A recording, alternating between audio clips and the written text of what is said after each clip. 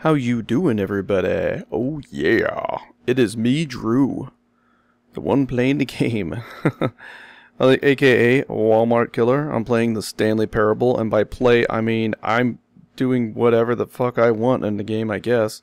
It's a very odd game, but uh, yeah, this is gonna be I think part five. I'm not even sure, but uh, yeah, let's continue. I just got done answering this phone after restarting again, and uh, confirmed my shipment for what was it like a thousand boxes or something, thousand and one. I don't know. I'm gonna keep trying to get in this weed room because why the fuck not? Nope, don't open. I don't think I've heard the narrator yet. When Stanley came to a set of two open doors, he entered the door on his left. Sure. Can I go back yet? No.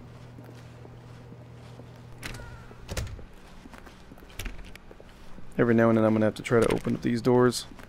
See if it makes any difference in anything at all. I don't think it will. Yet there was not a single person here either. Feeling a wave of disbelief, Stanley decided to go up to his boss's office, hoping he might find an answer there. What does this say?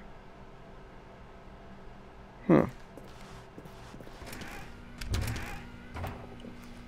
Oh, no. Oh, no, no, no, no, no, no, no, no, no, no, not again. I won't be part of this. I'm not going to encourage you. I'm not going to say anything at all. I'm just going to be patient and wait for you to finish whatever it is you enjoy doing so much in this room. Please Spanking take it. your time.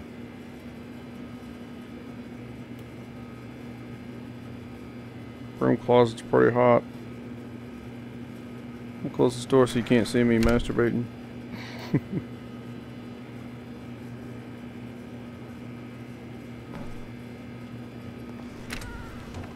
Fine. I guess you're not going to take the bait on that one, huh? Coming to a staircase, Stanley walked upstairs to his boss's office. Nope, not going to boss's office this time. Wish I could do something with that light. Or that. Oh, it's this But one Stanley again. just couldn't do it. He considered the possibility of facing his boss, admitting he had left his post during work hours. He might be fired for that. And in such a competitive economy, hmm. why had he taken that risk? All because he believed everyone had vanished? His boss would think he was crazy. And then something occurred to Stanley. Maybe, he thought to himself, maybe I am crazy. Yeah, All Stanley. my co-workers blinking mysteriously out of existence in a single moment for no reason at all? None of it made any logical sense. And as Stanley pondered this, he began to make other strange observations. For example, why couldn't he see his feet when he looked down? Not Why did down. doors close automatically behind him wherever Magic. he went? And for that matter, these rooms were starting to look pretty familiar. Were they simply repeating? No, Stanley said to himself, this is all too strange. This can't be real. And at last, he came to the conclusion that had been on the tip of his tongue. He just hadn't found the words for it. I'm dreaming! He yelled. This is all a dream. Oh, what a relief Stanley felt to have finally found an answer, an explanation. His co-workers weren't actually gone. He wasn't going to lose his job. He wasn't crazy after all. And he thought to himself, I suppose I'll wake up soon. I'll have to go back to my boring real-life job pushing buttons. I may as well enjoy this while I'm still It's a good. JPEG. It really So, is. he imagined himself flying and began to gently float above the ground. Then he imagined himself soaring through space on a magical starfield, and it too appeared. It was so much fun, and Stanley marveled that he had still not woken up. How was he remaining so lucid? And then perhaps the strangest question of them all entered Stanley's head. One he was amazed he hadn't asked himself sooner. Why is there a voice in my head dictating everything that I'm doing and thinking? Now the voice was describing itself being considered by Stanley, who found it I wonder if I ran out of choices to do in the game. I don't think so. There's supposed to be 12 describing endings. Me, thinking about how it's describing my thoughts, he thought.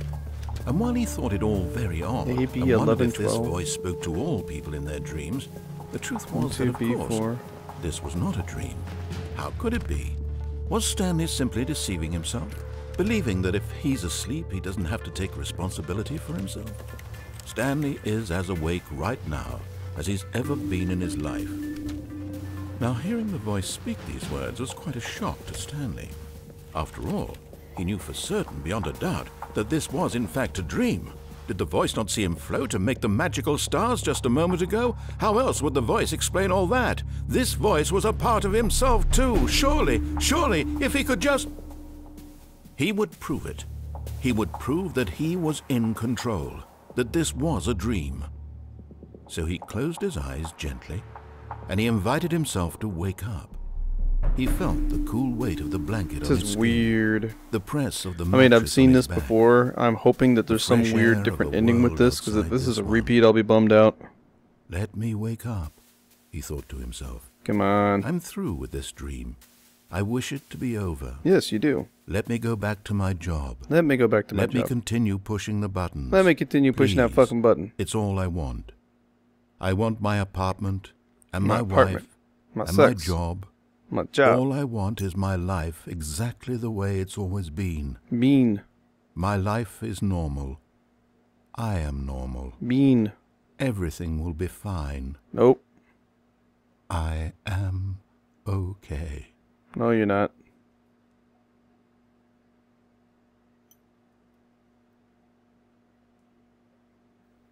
Stanley began screaming.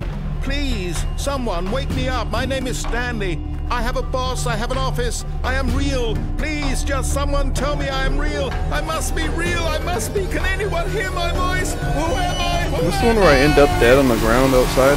And everything went black. Yeah, I think I'm in the street dead now. This is the story of a woman named Mariella. Ah. This is bullshit. Mariella woke up on a day like any other. She arose, got dressed, gathered her belongings, and walked to her place of work. But on this particular day, her walk was interrupted by the body of a man who had stumbled through town talking and screaming to himself, and then collapsed dead on the sidewalk. And although she would soon turn to go call for an ambulance, for just a few brief moments she considered the strange man. He was obviously crazy. This much Obviously knew. nuts. Everyone knows what crazy people look like. And in that moment, she thought to herself how lucky she was to be normal. I am sane. I am in control of my mind. I know what is real and what isn't. It was comforting to think this, and in a certain way, seeing this man made her feel better. But then she remembered the meeting she had scheduled for that day. The very important people whose impressions of her would affect her career, and by extension, the rest of her life. She had no time for this, so it was only a moment that she stood there, staring down at the body. And then she turned and ran.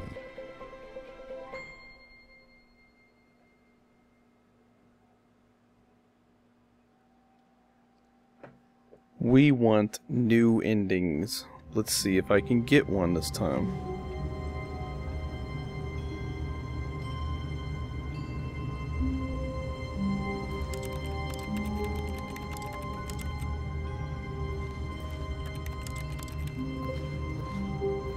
What's gonna happen if I don't leave the office? What's he gonna do if I stay in here for like a minute?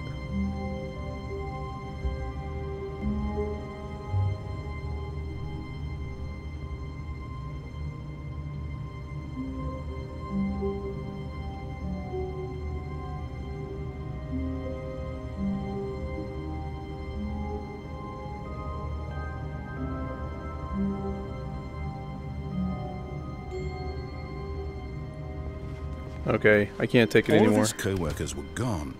What could it mean? Oh, there's the boxes. Stanley decided to go to the meeting room. Ah, there's the Perhaps he had boxes I ordered. A memo. They're fucking everywhere. That's crazy. They appeared.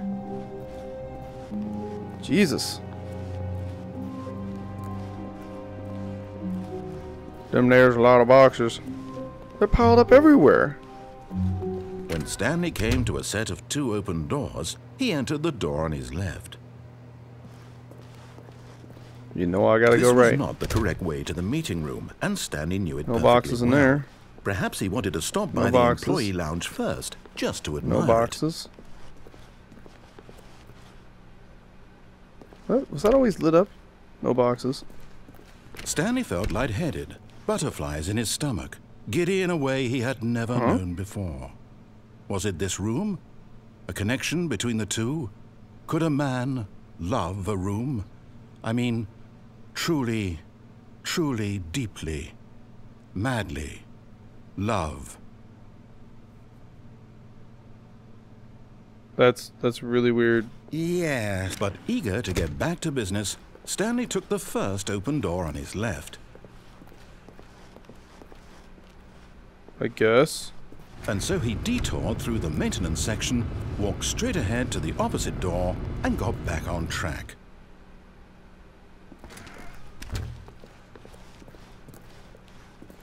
Can I open up this door? No.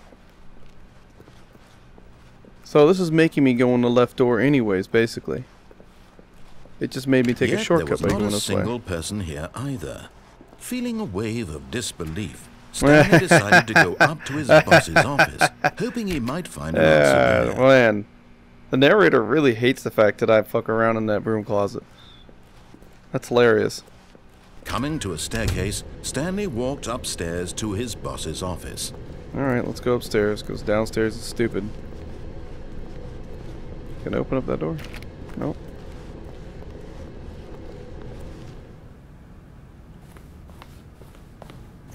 Still. Oh, it opens? Holy shit.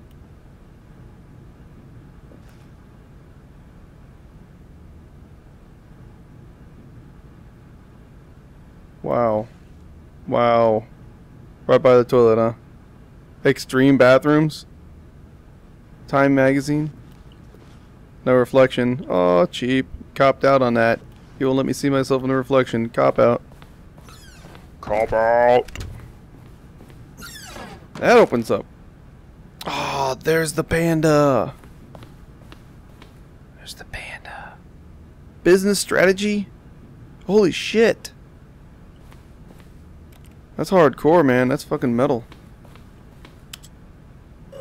Yep, let's go up. But you never thought I'd do this, did you, asshole? Eh? Fuck your couch. Well, I like the music. Yeah.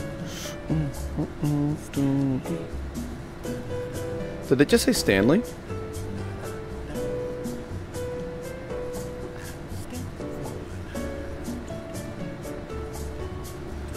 What?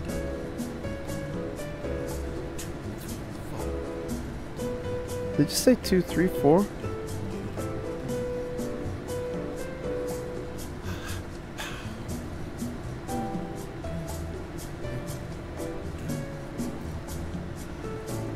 Whole elevator is like going nuts.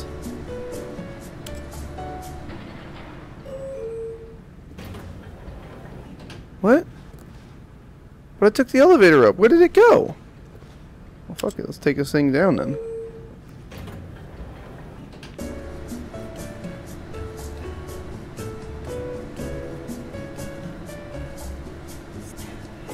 He definitely said Stanley. I heard that shit.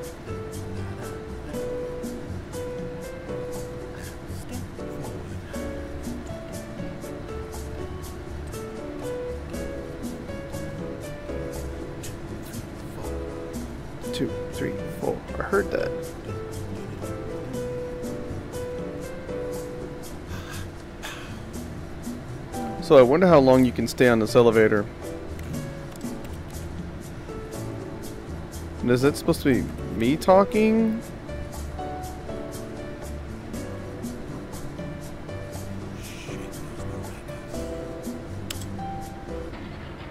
Okay, let's see where I am now. Come on, be someplace cool. Ah. So that does nothing. Okay.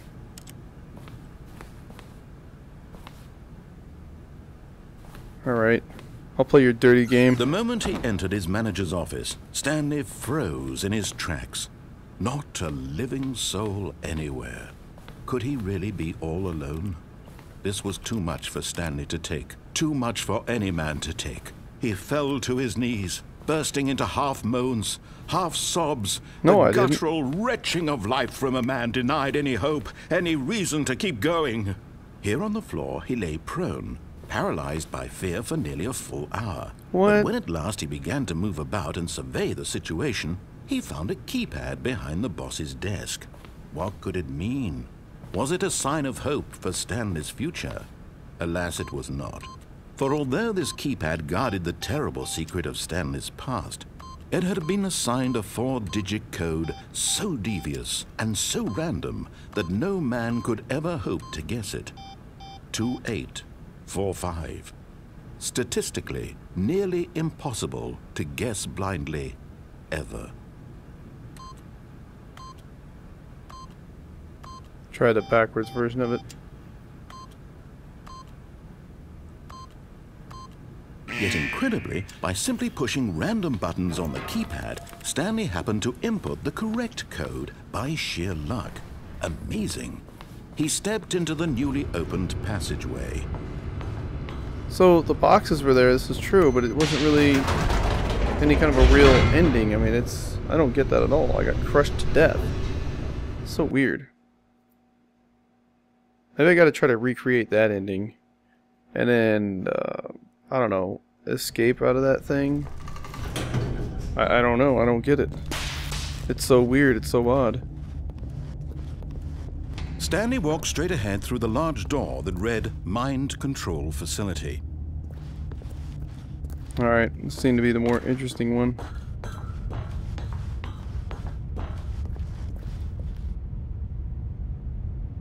Hmm. Oh, that door closed, damn it. The lights rose on an enormous room packed with television screens. What horrible secret did this place hold? Stanley thought to himself. Did he have the strength to find out?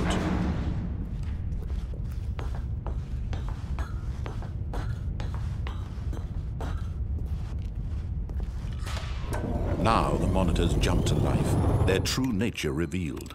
Each bore the number of an employee in the building, Stanley's co-workers. The lives of so many individuals reduced to images on a screen, and Stanley, one of them, eternally monitored in this place where freedom meant nothing. This mind control facility, it was too horrible to believe. It couldn't be true. Had Stanley really been under someone's control all this time? Was this the only reason he was happy with his boring job? That his emotions had been manipulated to accept it blindly? Of course. No. He refused to believe it. He couldn't accept it. His own life in someone else's control? Never. It was unthinkable. Wasn't it? Was it even possible? Had he truly spent his entire life utterly blind to the world?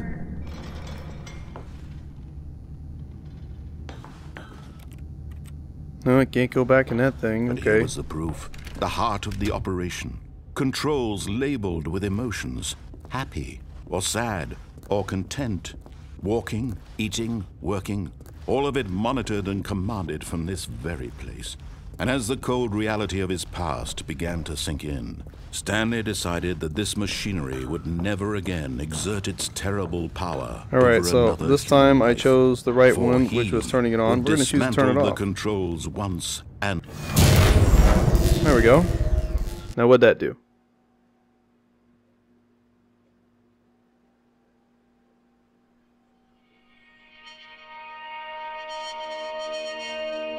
Interesting, interesting music.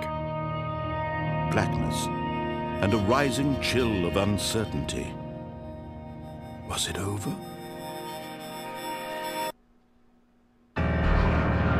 Yes. He had won. He had defeated the machine, unshackled himself from someone else's command. Freedom was mere moments away. And yet, even as the immense door slowly opened, Stanley reflected on how many puzzles still lay unsolved. Where had his co-workers gone? How had he been freed from the machine's grasp? What other mysteries did this strange building hold? But as sunlight streamed into the chamber, he realized none of this mattered to him. For it was not knowledge or even power that he had been seeking, but happiness. Perhaps his goal had not been to understand, but to let go. No longer would anyone Oh, tell I'm gonna be where to go free. Yay! or how to That's supposed to be how Chell felt Whatever in the Portal lives, 2. It will be his. And that was all he needed to know. It was perhaps the only thing worth knowing. This looks fake Stanley somehow. stepped through the open door. This looks totally fake. I bet it's like a flat TV screen. No, it's. Stanley felt the cool breeze upon his skin, the feeling of liberation, I'm not moving. the immense possibility of the new path before him. This was exactly the way, right now, that things were meant to happen. And Stanley was happy. The end?